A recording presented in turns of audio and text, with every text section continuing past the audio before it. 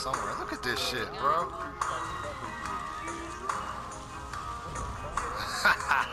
you see that? Bro, I came back to life and killed him with the Phoenix, motherfucker.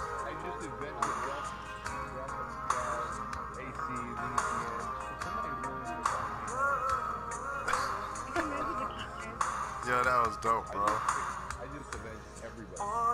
Yo, bro, I gotta keep that on tape, Oh, we got we got blue over here at the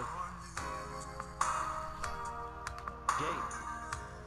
That's not possible. Tell me, can you Shut your bitch ass up.